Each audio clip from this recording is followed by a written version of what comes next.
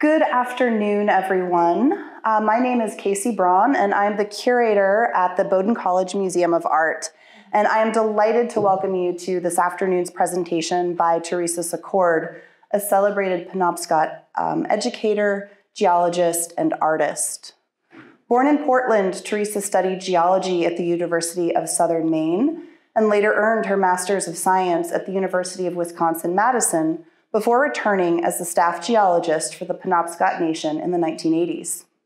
While based on Indian Island, Theresa began to learn Penobscot basket weaving from tribal elder Madeline Tomer Shay. Under Shay's apprenticeship for five years, Theresa came into her own as an artist. It was during this time that she also realized how endangered basket making traditions were among members of the Wabanaki Confederacy, which today include the Abenaki, Maliseet, Micmac, Passamaquoddy, and Penobscot nations, who are indigenous to the place we now call Maine, as well as portions of the Canadian Maritimes. The realization prompted Theresa to become a full-time artist and in 1992 to found the Maine Indian Basket, Make Basket Makers Alliance, or MIBA. During her 21 years of leadership, MIBA helped revive and revitalize basket making among the Wabanaki, who, alongside Theresa, are increasingly being positioned on the national stage for their artistry, creativity, and self-expression. She has received many honors for her work in education, including the National Heritage Fellowship Lifetime Achievement Award from the National Endowment for the Arts in 2016, the First People Fund's Community Spirit Award in 2009, and the Prize for Creativity in Rural Life, presented by the Women's Fund World Summit Foundation at the United Nations in Geneva, Switzerland. And she was the first United States citizen to receive this honor.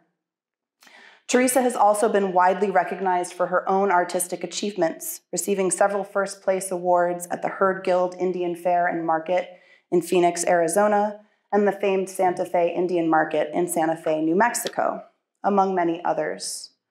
She was named a 2011 Traditional Arts Fellow for Maine and the 2013 Maine Craft Artist of the Year. Her work is held in the collection of many institutions, including the Portland Museum of Art, the Colby College Museum of Art, the Hood Museum, the Farnsworth Art Museum, Smithsonian's National Museum of the American Indian, and most recently, the Bowdoin College Museum of Art. Indeed, we are thrilled to include a new basket by Theresa in the exhibition Threads, Artists Weave Their Worlds, which opened on October 12th and will run through October 2024. If you have not already been next door to view Theresa's work in person, I highly encourage you to do so and we're open late this evening, so you could head over after the talk. It was an honor for the museum to support Theresa's work on this basket, which she'll talk about this afternoon. We are lucky to now include her among the many artists whose work we collect, display, and recognize for its artistic and historical significance. Welcoming Theresa Secord here to Bowdoin College this afternoon is truly a privilege. Here at Bowdoin, we acknowledge that the college is located on the ancestral homelands of the Wabanaki, who have deep and enduring relationships with Maine's land and waterways. We acknowledge the painful legacy of the region's colonial history and commit to better understanding it, while also celebrating the vibrancy of Native American cultures and working to build a more inclusive community. It is in the spirit of deep respect and friendship that I ask you to join me in welcoming Theresa Secord to the stage this afternoon.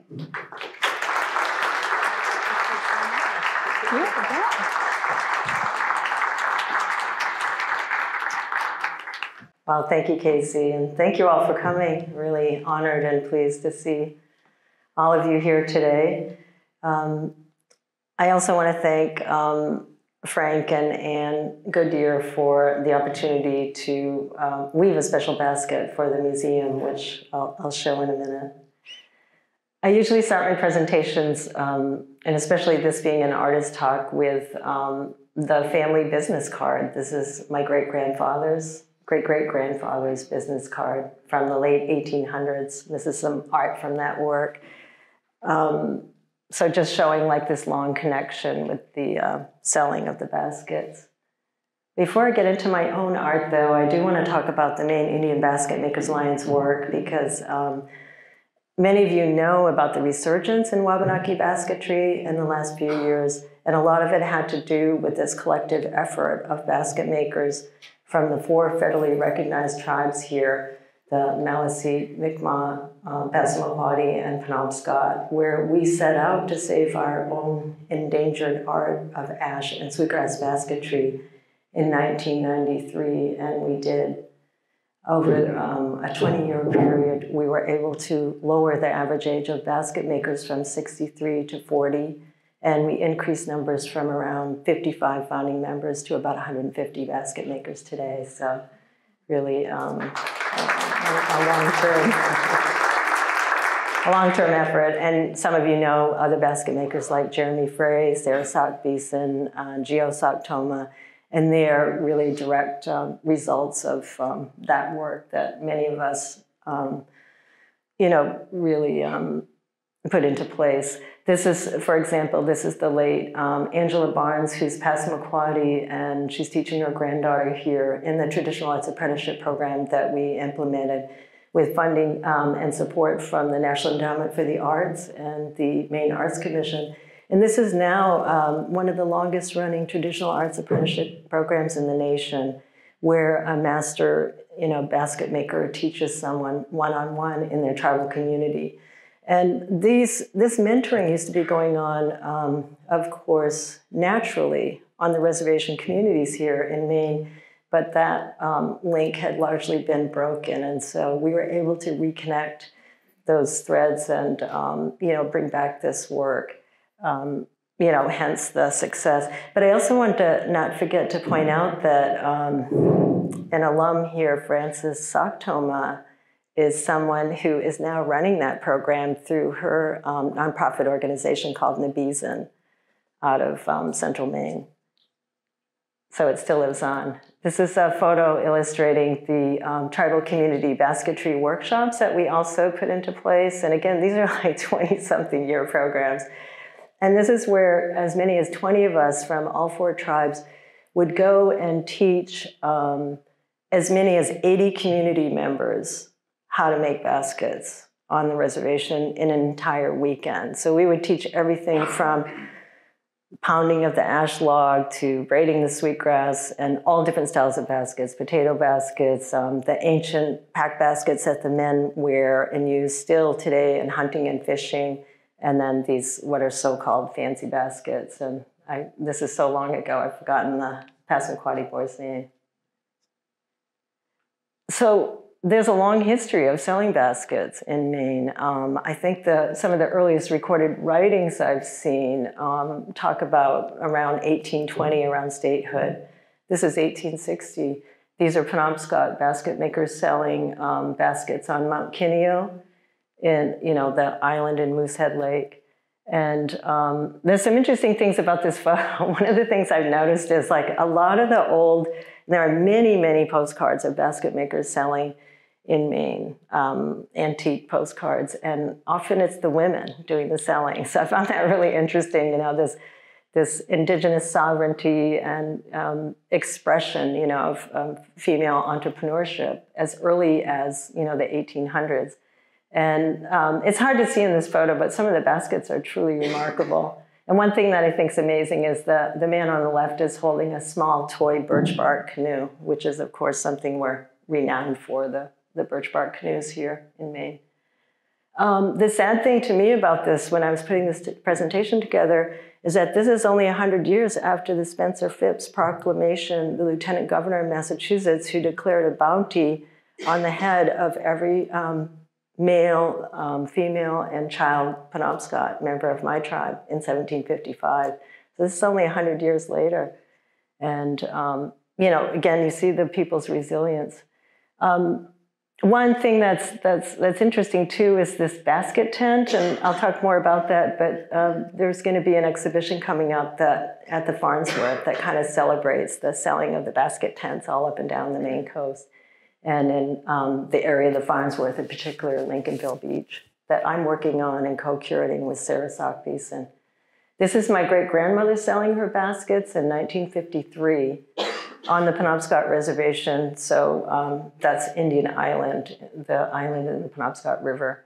And I'm lucky enough to inherited all of the wooden forms and tools that um, she used to weave her baskets on. So you can see like the barrel shapes and um, even the, there's an overexposed basket that, okay, I should try to use the pointer here. It's a little bit shaky because I guess I'm nervous.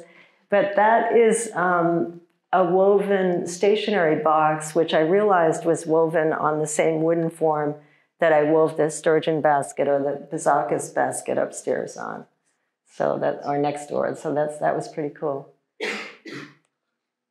Um, this is selling in the Santa Fe Indian Market in August. And I, I, put this in to just show things have not changed that much on how we sell our baskets. you know, it's still like the table, and these are a couple of my friends. The woman to my right won the best of basketry in the, in the market this year. Remarkable basket maker and Arapaho friend of mine. These are my wooden forms in my house, and um, again, I'll show the uh, the sturgeon form is here.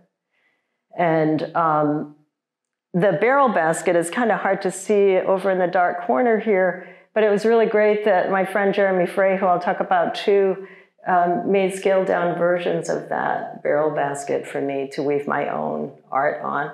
And what's really great is like um, in the antique basket record in Maine, of which I can tell you is really quite large, there are antique Wabanaki baskets in a lot of places in Maine. And, uh, and, and outside of Maine as well. Um, we can see our family styles and weaves represented, and so the barrel is a particular form that my family is known for, among others. Um, these are some of the wooden gauges. I just wanted to show some of the tools. I don't know how many people know much about the process. These are date well back into the 1800s, and they're really well worn. I don't actually use these anymore. These are um, handed down in my family. And it's kind of hard to see, but these are little, whoops, I went too far. These are little um, watch spring or clock spring blades. You can kind of see it on that one the best.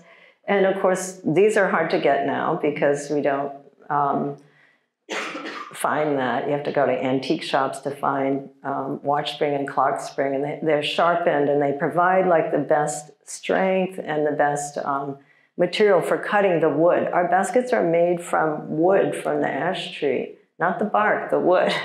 And then, um, you know, we harvest sweetgrass as post and braid.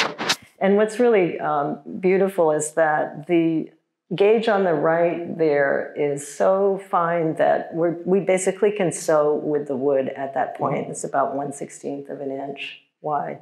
Ash is really the silk of the basket woods, is what I say when people ask me, like, other tribes like Cherokees weave with oak, and that's really um, a different uh, wood, and it, it doesn't, uh, it's not as pliable and flexible. And, it, and also, when you see the baskets, and I'll show in a minute, like Jeremy Frey weaves, we can see through the wood when he's making those points in those really high artistic style pieces.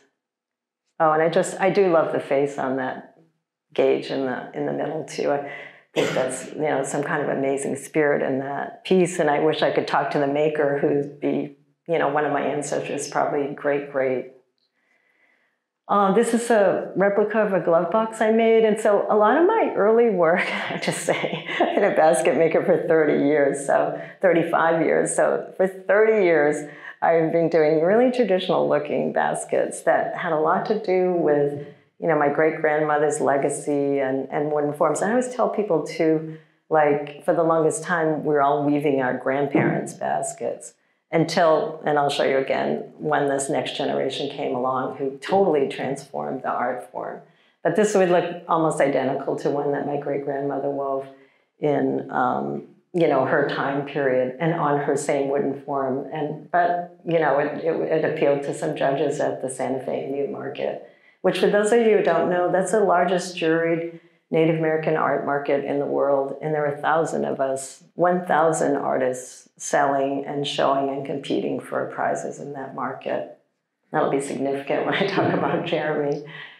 Um, this is a sewing basket that I made for a commission, and um, I put the photo of my great grandmother inside, um, and it's backed with this blue velvet because the collectors who asked me to weave this piece for them, um, they weren't interested in having me weave like the sewing notions that usually come with these baskets. A lot of you have probably seen the antique sewing baskets where There are pin cushions and needle cases, and you even weave covers for scissors.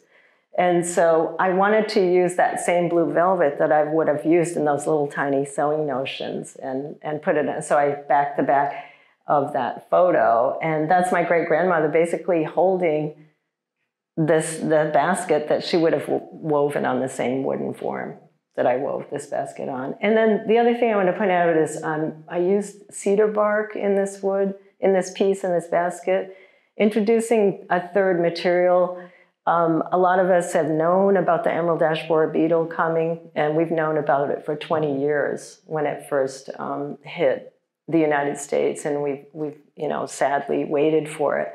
So now it's here, and it's killing all of the ash trees in Maine. And so um, we started, you know, experimenting with new materials, and this was my way to try to conserve, you know, the ash wood that I have, and introduce a third material. I just like the texture too. That is my great grandfather, great great grandfather, and uh, the business card. And this again, some of my you know work um, not too long ago.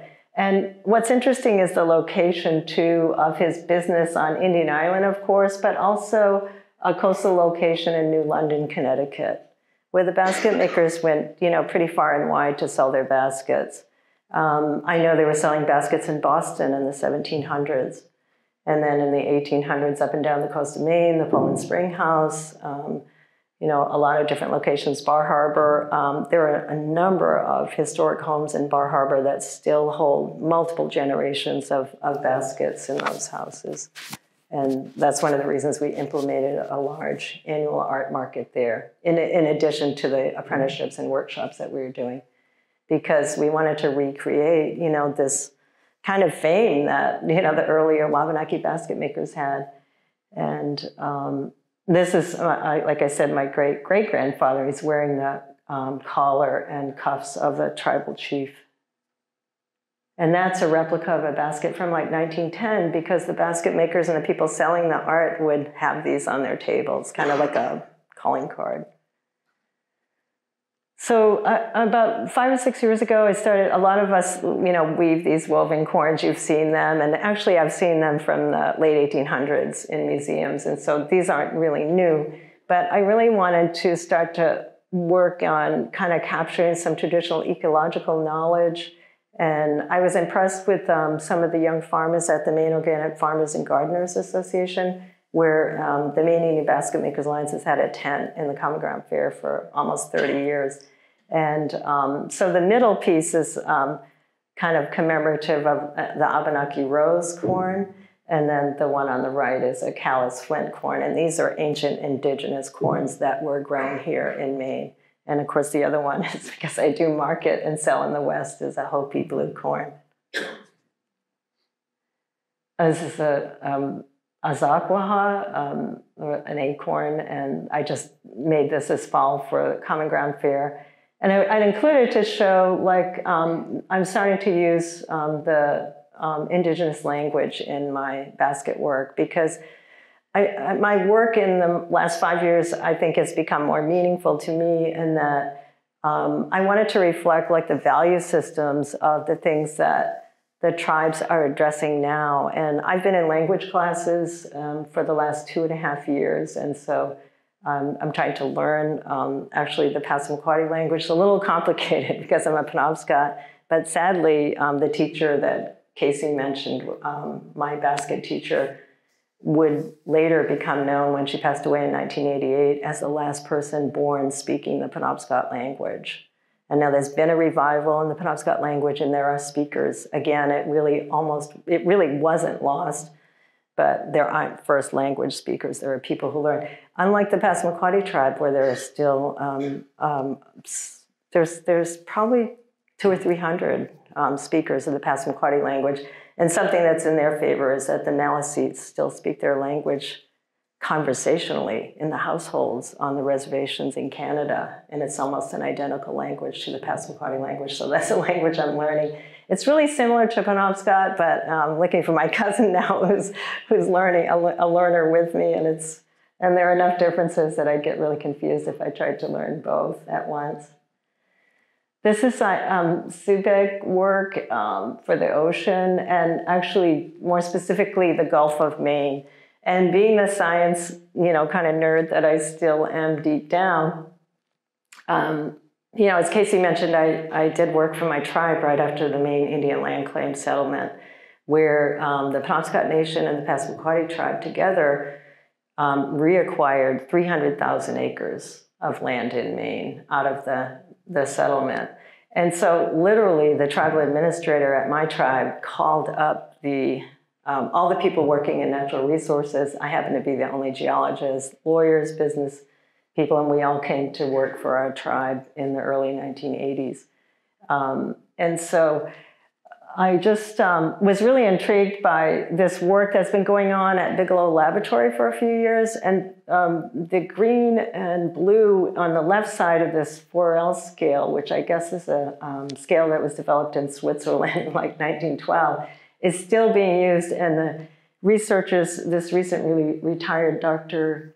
Balch at Bigelow Lab um, in Boothbay, has been doing these transects for like the last 25 years across the Gulf of Maine, uh, measuring a number of um, parameters, including, you know, of course, temperature, and so do and, and water color and phytoplankton growth. And so it's way more complicated than I'm going to explain it, but basically, from what I understand, the blue and the green on the left side of the scale constitute a healthy ocean. And so I really wanted to kind of mirror that work. And it was surprising because um, this piece is also in the Passages exhibition at the Portland Museum of Art, where I'm also a trustee and um, actually the curator's here, Rainey Mize. Thank you, Rainey, for coming. And um, they, the people at Bigelow Lab saw it and they sent it all over Twitter to show that they were so excited that, you know, a citizen scientist had, you know, been really, artists had been really inspired by their work because I think, I can't quote him exactly, but he said, you know, we, we do this work for years and we wonder if anyone's listening or caring. And I guess that's sadly kind of the story about climate change that now we're starting to listen, I hope.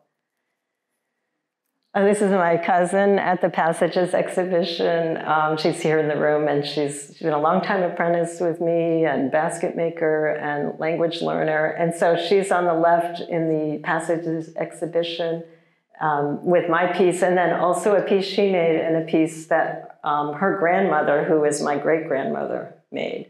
And I think it's really cool that we're represented together. My great grandmother caused posthumously, but I really applaud the PMA for doing this kind of work in bringing, you know, the indigenous art and worldview into the museum.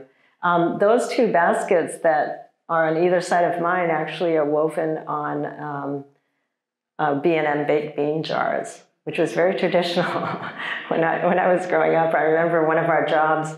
I did grow up in South Portland, and the trek to the reservation was like 150 miles, and um, I remember run, being the one to run back into the house to get the bag of jars that we were saving for Mimi, our great grandmother, because she needed them for her weaving. And I had an uncle who carried that on for me and saved those for me. And now they're increasingly harder to get. Um, and the photo on the right is, is kind of unrelated, but it's the same cousin and me. And um, and another cousin actually here, Lila, we're doing um, language work. And so I was also in 2021 awarded a Luce Indigenous Knowledge Fellowship from the Henry Luce Foundation and um, administered through First Nations Development Institute. And this work is a multi-year project to try to bring back the weaving in the tribal language, which is, which is really difficult. But the language of basketry, those particular terms for our tools, for um, the way we did things is, is fast disappearing. And so I was really concerned about that. Again, kind of how I saw the basketry itself disappearing. I'm now seeing that the use of language as a lot of the elders like um, Frances for example, I mean, her, her grandmother's obituary was in the New York Times. She was a remarkable, remarkable culture bearer, and there was an exhibition of her and her work Molly Neptune Parker here on campus a few years ago. And um, she was the president, longtime president of the Maine Indian Basket Makers Alliance, and one of her um, goals too in, in that work was to try to um, preserve the tribal languages and, and also these, like I said, these terms that are falling into disuse. And so, um, and then my teacher said, and this is true about, I guess, any language, you really can't be proficient in a, in a cultural practice in um, your culture unless you're practicing it in your language. And so it's a, it's a tall order. It's been a couple years now. We're still working on it. But we also just taught at a language immersion camp at Cobscook Institute uh, a couple of weeks ago. This is a small class at the Hudson Museum a couple of years ago. So this is some more of my own art. And again, getting into more here in 2023, my concerns about climate change and being inspired, you know, by my own value system and issues that are important to me. So um, I saw the poster coming up. I participate in the Common Ground Fair every year, and this poster was made by a young woman called an artist called Rebecca Lowell, and she's doing a lot of great work in Maine. To and so she's the poster artist for 2023, but she's doing a lot of great work in Maine to um, bring awareness to the loss of the milkweed habitat, which endangers the monarchs as they do their um, migration. And so um, Wipanaksen Naga Amagas is the um, pronunciation of that. And I love this word Wipanaksen because it means um, feather shoe. So it refers to that seed pod. And see what I'm saying with the language is so beautiful and descriptive. So it's referring, the word, the Passamaquoddy word for milkweed is the feather shoe. And um, so my piece here on the right is about an eight inch barrel, so one of those scaled down versions. And I hope you can see it's evoking, you know, the butterflies alighting on the, um, you know, milkweed, but also see the um, little caterpillar, kind of nod to the caterpillar here in the striping. These are just smaller versions. I, I yeah, I kind of turn myself, you know, it's, it's so interesting and great to be involved in museums now. I'm a governor at the um, governing board of the Colby College Museum of Art and a, a trustee at the PMA, I think I said. And, um, you know, being invited into museum spaces now in our art is really kind of new. And um, so I'm always looking at the marketing side, you know, being an Indian market artist is kind of how I refer to myself. And so these are smaller versions, kind of more affordable. That would be like a three inch size on the left, and this one's more like four inch kind of diameter. Well, this is the um, other end of the Subig scale, so Subig 2. And um, I noticed this summer that the um, researchers are finding this huge algal bloom, and it's I guess it's really alarming. The Gulf of Maine is warming faster than any other water body almost on Earth, is, uh, so they say. And so, um, and this is this is like like terribly disturbing to see that water in a jar from here, the Gulf of Maine, which we, you know, all of us kind of in our delusional way sometimes think of Maine as, you know, this pristine place in, in so many ways. So, um, yeah, this is the piece that shows kind of what happens in going on to the other side of the color scale where the ocean isn't as healthy anymore. And so this is the piece that's here, my um, Pizzacus sturgeon basket. And um, again, I guess um, what I wanted to show here was, um, know, unfortunately, that was my that was my dead model, uh, and, it, and, it, took me a few weeks this summer to try to figure out how to show those scutes. This is kind of a unique weave. It's like a fold over. I was talking with Jeremy Frey about it, and it's not one that we've seen often in recent times in our ash basketry here in Maine. But um, the fish is really interesting in that um, the tribal hunters cannot penetrate those scutes or scales as they're called. And so I wanted to show um, the ancestral presence of the Penobscots hunting this fish using birch bark torches at night by birch bark canoe. And so this, this basket really commemorates the return of the sturgeon, the recent return of the Atlantic sturgeon to the Penobscot River. Um, let's see what else here.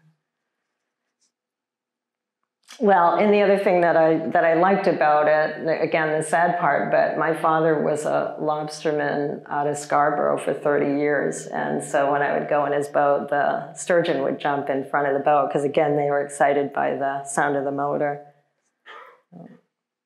Is again the smaller version of the sturgeon, and I did just have a Bowdoin alum ask about the larger version, and I think I think they're settling on the smaller version. And then the thing is too, I guess, you know, as a commission piece, I really wouldn't want to make, you know, another one that's identical, that's really special. And I guess I want to share too, like this special commission here at Bowdoin gave me and gives an artist something that you don't realize you really need is the time and the space, you know, to be creative and to bring out thoughts and ideas and experiment. Um, I, I, I will say that that's you know, probably my best work. And um, it took me 35 years to get there. But I so appreciate the museum for understanding that because, again, I'm usually weaving on deadlines for going to markets, the Heard Museum Market, the Santa Fe. The next one coming up is the um, market at the Hudson Museum in December. I wanted to show a little bit, and I hope this is okay, about other museums that I work with. Um, of course, I shared that I'm on the governing board at the Colby Museum. I've been there for since uh, about 2017. And um, what's important for me to show here is how you know things are changing really fast, and artists and art is being you know really embraced. Indigenous art in museums. Um, but there's kind of a right way and a not so right way. And I think the museums, in their way, are really going about it the right way here in Maine. Um, this exhibition engaged an Indigenous curator, a Wabanaki curator, Jennifer Neptune. And in 2019, this was the first exhibition ever of Wabanaki art in a fine art museum. Previously, our work had been shown in ethnographic museums, and we had some baskets, four of us, in the Portland Biennial in 2015. But the, the doors to museums like this were closed to basket makers for a variety of reasons. Whoops, getting too excited there. You know, perhaps I'm sure space was an issue and not a lot of knowledge about the art. And um, so it, it's great that these spaces are open now. One thing that's been really amazing, like I said, is the use of tribal languages. So tribal members are walking into these museums and not just seeing the land acknowledgement, which is really important, but seeing um, that the value system of the museum matches the value system of the tribal communities, whether it's the transfer of intergenerational knowledge or the ecological um, concerns that we have, which were portrayed in the Weewanegan. And again, the, the heavy use of um, language in this exhibition was really important. And it really set the stage for the one that's on exhibition now, the painted exhibit, which I'll show some photos of in a few minutes. This is Jeremy Frey's work as well as mine on the right. You can see the barrel shape and you know how I talked about the use of cedar bark. Um, Jeremy's piece I believe was the first time that um, a museum had commissioned a major work by a Wabanaki artist, and the, the price was $20,000, and that was astounding in 2019 for a basket maker. Um, the inset here is kind of hard to see, but that's um, inlaid with um, porcupine quills, dyed porcupine quills that are sewed into the birch bark. So tremendous amount of work on this. But, but I would say today, after I'll show you a couple of photos of his work now and what he's been doing, um, the price tag would be well north of that now, just four years later, which is his career has really taken off. And, and a lot of it does have to do with collaborations with museums and museum engagement. This is Sarah Sockbeson's piece on the right, which is, I think, also really astounding. And this is in the current exhibition now, Painted Our Bodies, Hearts and Village. And it's kind of hard to encapsulate it, but in, it's in a nutshell, it's basically at the museum, we took the Taos Society paintings, which are, you know, around 100 years old. And, you know, the um, director asked me as an advisor and also a governor, you know, how should we, a couple of years ago, how should we address this? You know, these paintings need to be reinstalled, et cetera. And I said, well, you need to bring in a lot of Pueblos from the Southwest, which, which they did. And so there's a Pueblo curator, a whole tribal council of advisors on this exhibition. And if you haven't seen it, it's, it's truly spectacular. It's, it's well worth the trip to Waterville, and it's up through um, June of 2024. But just to show too that we needed to maintain our uh, basket presence in these exhibitions as well. Um, Sarah wove this piece of all recycled and found materials. So there's plastic in this. And, you know, she's in her late 30s. She's the generation that is going to deal with the absolute loss of the ash trees where there won't be any wood. And this wood is actually sacred to the tribes in Maine in that we trace our creation from this tree. One of our origin stories talks about Gluskabe, the culture hero, shooting an arrow into the ash tree, and from this tree came the first people. And this was recorded in the 1800s, um, you know, and, and written into a book. So it's not just the oral history. And so the loss of that tree is going to be really devastating to um, the tribal people well beyond the loss of the basket making material. But this, I think, is just a remarkable basket. I have to have a little bit of bragging in that Sarah was actually my apprentice's apprentice. But again, she represents that generation of basket makers that we brought forward through the work. And I love how, too, knowing that this is a Pueblo exhibition, that she used turquoise in the finial, but that's a distinctly um, Penobscot double curve motif design. And again, it's, a, it's, it's hard to show it in a photo.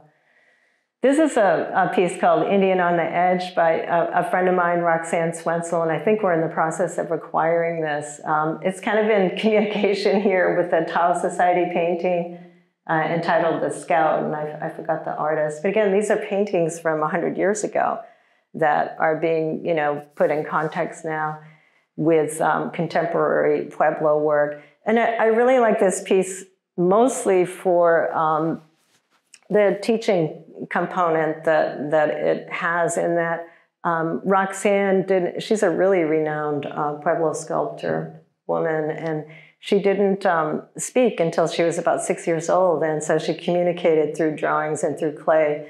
And I think of um, my son with autism who grew up in the Waterville school system. I think of school kids coming through, you know, with communication issues and being showed that, you know, you can communicate through art. There are many ways to communicate through art. And uh, so I, I, and I just, I think it's a really great piece. Um, these are really astounding pieces as well. This is um, the designer of the exhibition is a really renowned um, sculptor and potter, Virgil Ortiz from the Cochiti Pueblo. And um, this is one of the warriors. If anybody's been watching PBS on Native America, they have, they've had the story of the, the warrior component one. And that's one of the warriors from the 1680 Pueblo Revolt. And that's a sculpture um, that we acquired, that we commissioned for the um, exhibition. And so these artists are like really important and have not been in these spaces, particularly in the East before. Um, important women artists and important indigenous artists as well. Um, Virgil's designs, it's kind of hard to see in this one here, but are also on the walls. And a number of these are, some are contemporized, but a number of them are very traditional um, Pueblo designs and represent their worldview and, and their narrative and their value system. And so that's another reason this work is so important. This is a Tony Abeyta, and he's a really renowned um, Taos Pueblo painter. And um, I believe that was acquired by Peter and Paula Lunder for the museum. And so again, seeing it in context with this 100-year-old Taos Society painting. Um, one of the things that I said though, because I was working with the curator and some of the artists, was that um, we just found it really curious that this school of painting in Taos drew all of these Eastern painters and some of it, I think, is, of course, the climate and the whole painting school thing, which is really important because there's Skowhegan School here in Maine.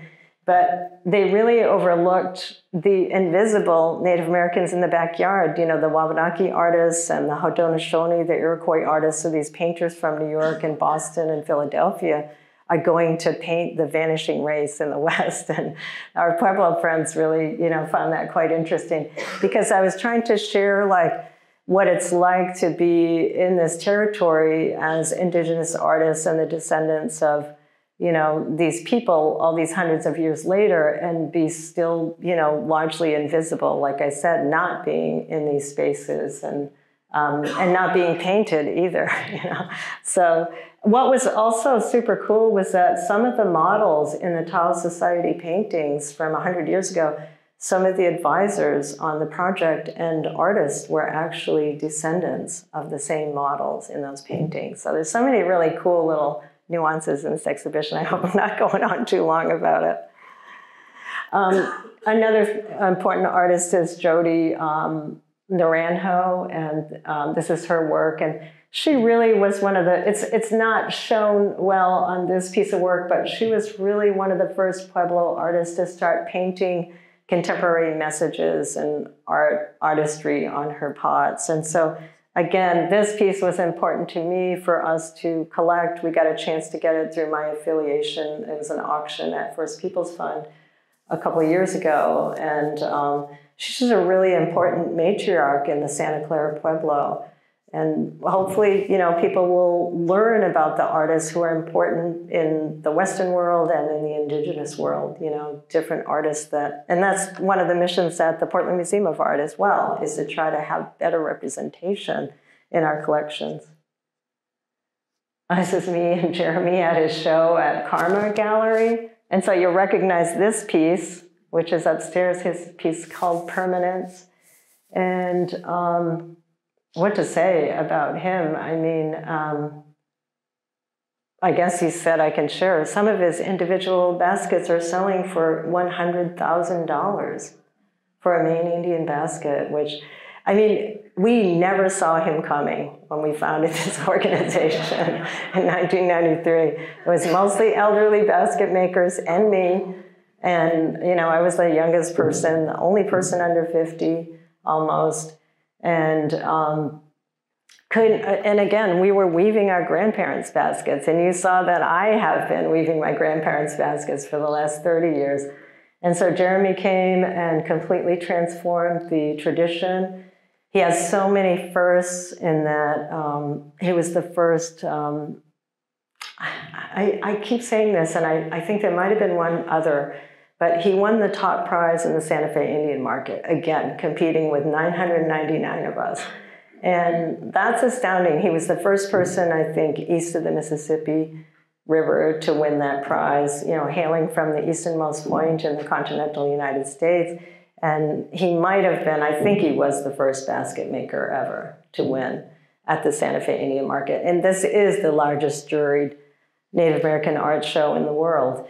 And after that, there were just there have been so many other firsts. He he won the top prize in the Heard Guild Indian Fair and Market that same year, and only one other person had done that in history. And that show is, you know, probably about 50 years old at the time he did that. He was the United States Artist Fellow in 2010, and we've been friends for like you know, more than 20 years. And I, I, like to say I was his professional development mentor, you know, because I don't think I taught him and I didn't. His mother did.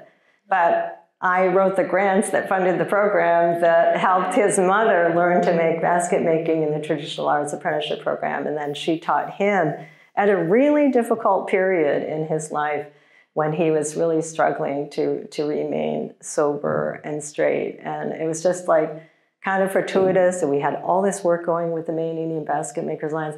And I will say too, even in, you know, um, my um, tribal community, Jeremy's Passamaquoddy, but you'll still, you would still hear the old basket makers say, you know, make baskets. Like, you know, when times are hard, you need money. And I, I've said that to my son when he was out of money in college. And, but just like kind of focusing his great, great creativity and artistry. I mean, I, I, um, I don't think there's a, a, lot of us that are going to be selling baskets in that price range because you know his artistry and kind of engineering skills in these pieces is amazing. He still goes down and cuts down the tree in the woods and hand pounds the log. Uh, now he's got my son hand pounding it with him. My son is actually apprenticing with him now, which is, you know, I couldn't think of a greater way to kind of quote unquote pay me back for helping him find some of his opportunities But now, um, this was his solo show at Karma Gallery in New York. Um, and he's the in the East Village, and he's the first Wabanaki artist to be represented by a gallery to have a solo show. Um, the book on the right here is something that Rami and I have worked many hours on. I think we're done, but um, that's coming out in advance of the first solo show of a Wabanaki artist in May at the Portland Museum of Art in May 2024. I'm super, super proud of that. And so um, many firsts, and I guess I'll start bragging about him. This is my son, Caleb. yeah, he wanted me to put this photo in. This is the year that he won a first and I won a second. And that's actually at the Heard Museum. That would look familiar to Frank and Anne. And um, actually, Frank's father was the director at the Heard um, Museum for many years, and there were these really great basket weavers gatherings. And so we actually sent basket makers like Jeremy Frey, his wife Ganessa, Sarah Sockbeson, a number of um, younger generation basket makers out into these basket weavers gatherings in um, Arizona, Hawaii, and then out into the National Indian Art Markets because we knew that they had to see um, other role models like themselves, like especially in Maine, you know, they had to see other younger indigenous artists who, um, you know, were really passionate about their work and who were really good at it as well. And so this is my son Caleb today, who's, um, like I said, pounding the log for Jeremy. well, that's almost all I have. I sent around this card, which is our next market, about promoting. There'll be a number of basket makers there at the um, Hudson Museum at the University of Maine. The only problem with that one, as you all know, if there's a little bit of snow on the interstate, that, that makes it like almost a no-go if it's icy. Um, and then this is um, a piece I just made this month, just for something for fun. And I think um, we have a small video to show. Yeah, a five minute video that actually features Jeremy. It was just done by the Maine Office of Tourism. I'm going to gear that up. It, it, it, shows like the process of basketry and kind of for those who don't know, actually shows them going into the woods. For me, being an artist in Maine is a connection to the forest. My art is so grounded to the forest. Everything that I make comes from the forest. Wabanaki basketry was born in the forests of Maine. That feeling and that connection to your environment and to your place goes to the core of who you are and what you're capable of.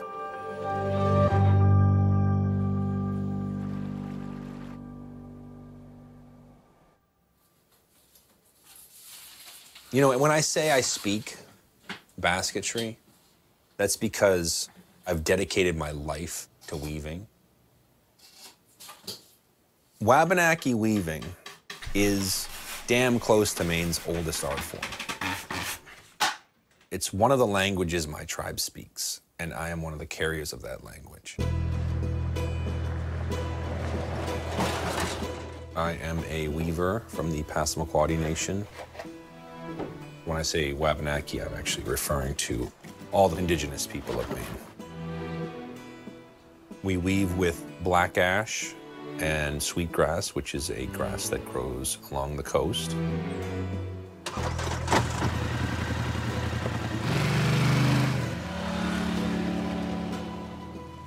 We've been making baskets for thousands of years. And I come from a family of weavers that goes back generations. We have two styles of basketry, fancy baskets and utility baskets.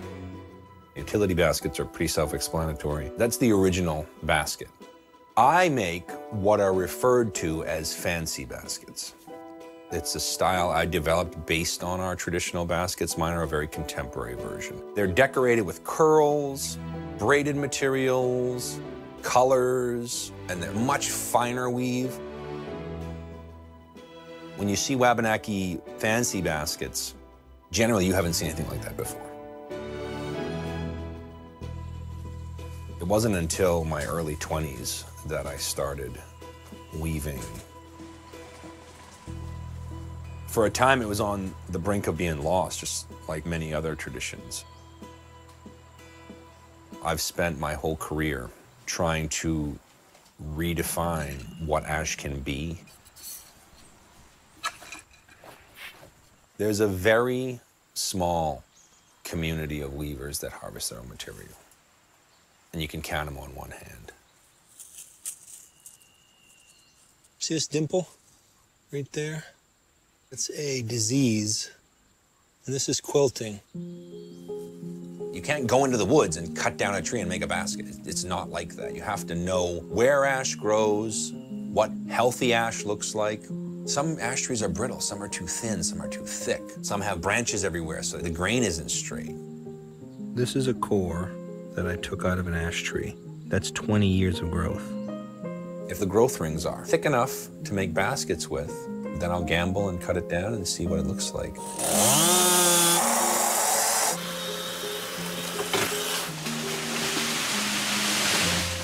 Sometimes I'll be in spaces like museums where they have the white gloves and they're handling the works. And I will get a little chuckle thinking, if you only knew how many times I hit that basket.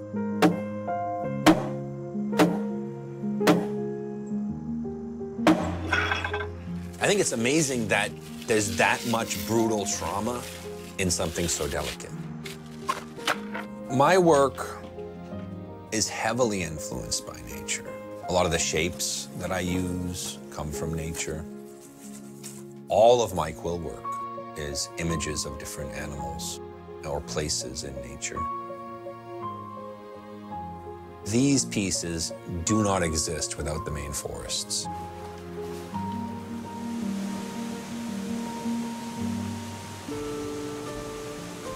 There's been times where I've invented something amazing and I've seen it years later in a museum from 100 years ago. It feels like I have this direct connection to my ancestors, like somehow they've told me what can be done. And it's um it's pretty powerful. Everything has changed for native people, but we still hold on to certain cultural aspects of who we are. So if no one does it, it's just a damn sad loss.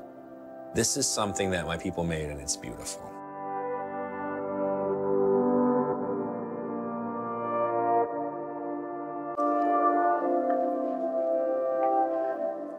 Yeah, just a, a couple of things about that that I wanted to remember too is that when I said we didn't see Jeremy coming, um, men were not weaving those artistic fancy baskets. Men at that time were weaving the baskets his grandfather made, which were fish scale baskets, which kind of almost look, a lot of people use them for laundry baskets.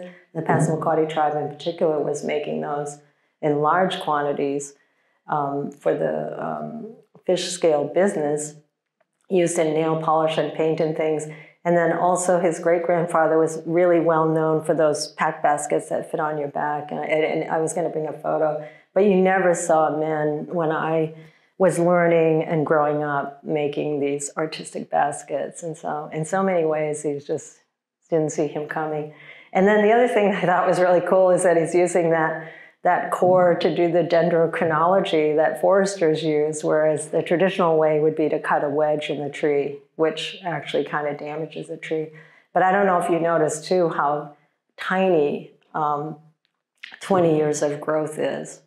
And so it's going to be really devastating because these trees grow very slowly and there's not many of them and very select habitat. And um, you know, it takes 60 years, 60 years to grow a tree that is harvestable for an, um, a basket. And so, yeah, a lot to it. A lot of traditional ecological knowledge involved there that has been handed down to him through his uncle, thankfully. And um, about 10 years ago, maybe it was closer to 15 now, we um, captured a lot of knowledge from the Maliseet, Micmac, Passamaquoddy, and Penobscot basket makers who still knew how to evaluate the ha habitat and harvest the ash because it's a little different in each tribe. Then we have that recorded mm-hmm. and it's in file at the Smithsonian in case we have to leave this information behind for future generations. So that's the other thing you see in Indigenous art is always a responsibility. Like we saw that with the Pueblo exhibition. You know, it's it's it's not really like mainstream artists who are maybe doing their own work in their own studio. Like we saw the Pueblos come in to Colby and they really want to send a message as a community and educate and share the beauty of Pueblo artistry. And it's kind of the same with Wabanaki basketry. You know, everybody talks about we. You know, it's not. It's a, it's a collective art form, which I think makes it really unique. So, open for any questions.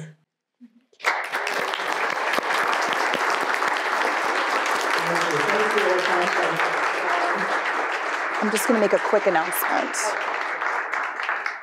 So we have a few minutes for questions. I'm just going to ask that if anyone has a question to ask, you come down to the microphone um, so that everyone in the room can hear you, and also so that our recording in the back picks up your question. So um, open the floor to questions, and Theresa, feel free to direct. Okay, yeah, and there's another mic over there too. Sorry about that. Oh, yeah, sure, Anne. Theresa, thank you for an amazing talk. It was just beautiful. Um, and I love the way in which you were able to um, share with us something of the tradition of these baskets, as well as some really exciting opportunities um, to see um, examples of this work on view um, here at Bowdoin, at Colby. We're so excited for the upcoming show um, at the Portland Museum next spring. So, so much exciting um, so many exciting things happening. And it makes me think a little bit about an element of your presentation that I wondered if you could expand upon a little bit. And it's the relationship between tradition and contemporary circumstances. And so I loved, for example, hearing about the um, the bean jars mm-hmm. um, that that were used when you were growing up, um, and of course that factory is now closed. So right. it's interesting to think about how those were being used. It's exciting, although I really um, mourn the um, uh, arrival of the emerald um, ash borer. That's that's devastating, but it's still empowering and exciting to think about new materials um, that are being incorporated into baskets. And it's my understanding that fancy baskets themselves um, may have emerged um, in part through contact that um, Wabanaki artists were having with Europeans in this mm-hmm. part of the world. So I just wondered if you could speak a little bit about this really interesting intersection between um, tradition and circumstances that lead to the evolution of um, forms and opportunities, um, perhaps for new forms of expression sure. to develop. Thank you so much. Okay, yeah, thank you. Well, I think, like you said, um, you know, the, the tradition had some big changes from utilitarian to this more artistic fancy basket style when people came and started purchasing baskets for their homes. And they were, you know, especially in Bar Harbor for the big houses, you know, having sewing baskets and picnic baskets and, you know, the whole range of, there were even baskets for napkin rings and powder puffs and, you know, waste baskets. It was, they wove and then plastic came and that, that all changed. And then the art form was really flagging, you know, when I started learning in the late 80s. And so I think, um, you know, we were just trying to capture some of that traditional knowledge that was still going on. And, um, and then these younger basket makers. I mean, I, I credit a lot to Jeremy, but people like Sarah Sockbeson were also you know, starting to paint on the tops of baskets and expressing herself because she's an artist also, had been an artist, a painter. And so I, I would say really credit that generation. And there was no way they could make a living at this unless they didn't make changes. You know, you're, you're not going to make a living selling baskets for $30, which is what they were selling for in 1993. And so I think I think they're really the the heroes of that contemporary transformation. And then the thing I saw with Sarah too was she had been experimenting with alternative materials. I mean, that piece that she made, I still say is so remarkable.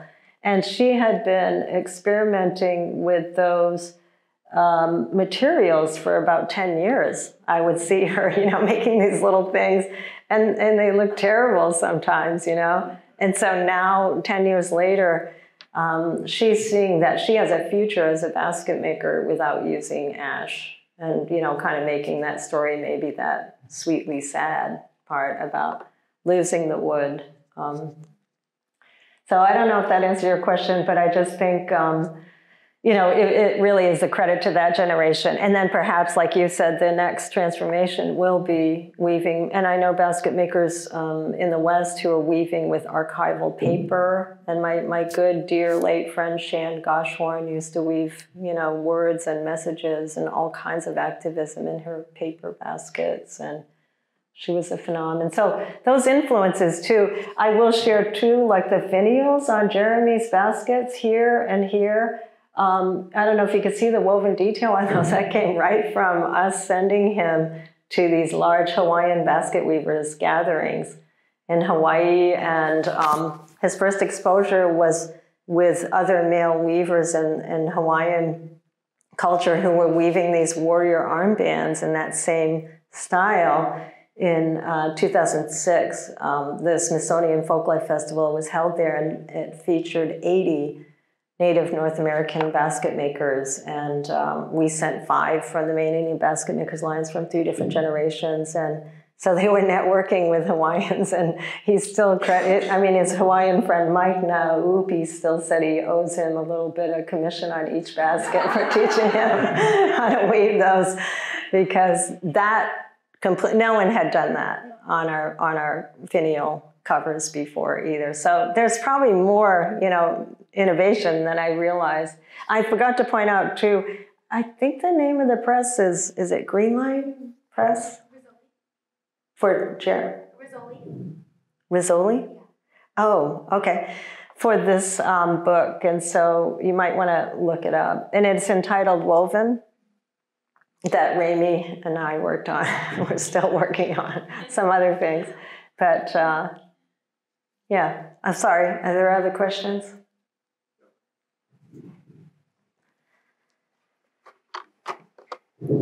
Um, great. This is great, and we, my wife and I, have seen baskets at various museums here and there. But it's it's nice to see it getting so much more exposure. But I'm I want to go back to your the the ash trees mm-hmm. and how they're getting destroyed by the ash borer. Um, and global warming is moving different species north to Maine, right. and species in Maine are moving north to Canada. Uh, it'll take a long time, but are there other species besides ash, which is a great flexible mm-hmm. wood, um, that are coming along or that are being explored that are come from the mid-Atlantics or the, even Connecticut, you know, where there's a different group of species? Is, is ash absolutely the only thing that, as yeah. opposed, or is it going to be plastic at some point? Yeah, I mean that's a that's a good question, and no, that is the sad reality. There's nothing like the ash wood that I mean, again, um, like I'm showing you, we're, we're, sewing with it. I think Jeremy weaves um, 132nd on some of his finer, finer work, which I don't see here from this distance. So maybe some of these weavers are like 132nd of an inch, and you really can't do that with any other wood. Just the way it grows with the growth rings, the way we can split it and split it. We split the growth rings multiple times and literally thinner than this paper. You can see your fingers through it when he's making all these points, which sometimes take 100 hours on those baskets. And so sadly, no, there really isn't a substitute for the ash. Well, we're going to get those scientists to work on that. Right, yeah. Well, and we did work with the U.S. Forest Service, the tribal foresters, and um, some foresters from New York State have been working on it for about 20 years. And so the, th- the, the things that you're seeing, like quarantine and stuff, are kind of the only answers. I do know that the state has released wasps, which is a particular, it's called Xerxes, I think, and it's a particular wasp that goes after the beetles. But I remember being on a conference call about 10 years ago, and a lot of tribal chiefs were on there from the eastern US, and they were all against it. You know, just culturally, they were totally opposed to that method of introducing another invasive to take care of this invasive. I mean, um, I'm just trying to think what else. Um, well, and another thing you brought up of all the invasive plants is crowding out the sweetgrass beds that we harvest the grass at the coast. And access is another big problem because of all the people moving here and they have no understanding of the historic. I mean, a lot of the places where they had these basket tents, like Lincolnville Beach, which is going to be featured in the Farnsworth exhibition, the Lincolnville Beach tent, and the famous family, the Shay family, that made baskets and sold there. Those tents were placed there because people Penobscot people were historically traveling to the coast and prehistorically, and then picking sweetgrass there and making baskets on site, harvesting shellfish. Really, the Indian Island village is our winter village. And so, unfortunately, the sweetgrass is getting crowded out by the invasive, a lot of invasive grasses. So it's getting tough out there. Know, I think I'll be fine for my lifetime. You know, that's, I guess, how we all do the math, right? How is climate change going to affect us? But I do feel for my son and the other generations. And, but I mean, you have to think that, you know, there will be a resurgence at some point with the trees. It's just that we're at the northern extent, uh, kind of the northern range, and they already aren't a very healthy, long living tree. Now, they're really interesting species. There are a lot of ash trees in Maine, but not many are the black or brown ash. I don't know why people in Maine were the only people call it brown ash locally, but uh, there are not a lot of, of them to begin with. And so the emerald ash borer beetle is, is killing all of the ash trees. So everybody will see a change in the skylines and things around, particularly central Maine has a lot of ash. I've seen it in Connecticut where my one of my stepdaughters lives. Any other questions? Sorry. Chatting. Really appreciate the audience today. This was great.